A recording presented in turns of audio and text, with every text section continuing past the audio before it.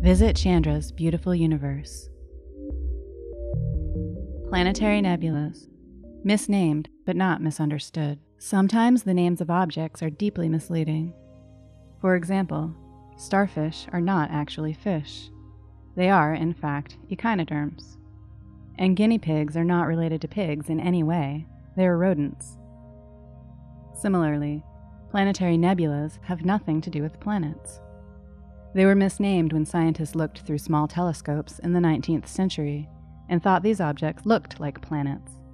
Today, astronomers know that a planetary nebula actually represents a phase that stars like our Sun experience when they use up much of their fuel.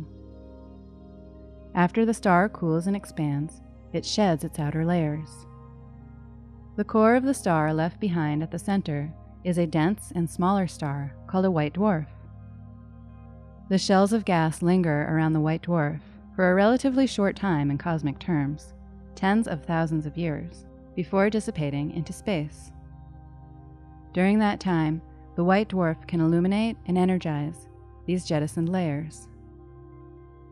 NASA's Chandra X ray Observatory contributes to the understanding of planetary nebulas by studying the hottest and most energetic processes still at work in these beautiful objects.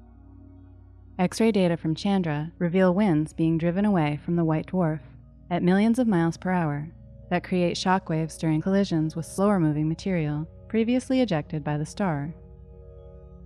Chandra's exceptional vision in X rays contributes to the understanding of this brief yet important stage of stars' lives. This gallery contains half a dozen planetary nebulas that have been observed both by Chandra and NASA's Hubble Space Telescope. While all six nebulas originated from similar physical conditions and evolved by similar processes, they currently appear somewhat different from others. The differences in the shapes and structures of these planetary nebulas may be due to the complexities of a slew of physical properties, including how much of the star's winds flow from its poles, whether the star wobbles as it spins, if the star has a companion or not, and other factors.